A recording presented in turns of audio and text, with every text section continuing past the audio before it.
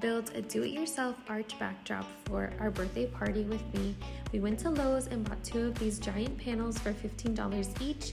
We also picked out some pink paint. Then we brought it home and we cut out the panels and we started to paint them, but we did realize later that the paint wasn't drying because we needed to peel off the top layer of the foam panels. Once I peeled off the top layer, the paint stick to the foam board perfectly made sure that the biggest panel was six and a half feet tall and then I went over it with a light pink color. And I'm also doing two side panels that are going to reflect each other. So I did cut the second long panel in half and I made one about four and a half feet tall and then the other about three and a half feet tall. And I'm gonna paint these a darker pink color to be our accent panels that are gonna go with the backdrop.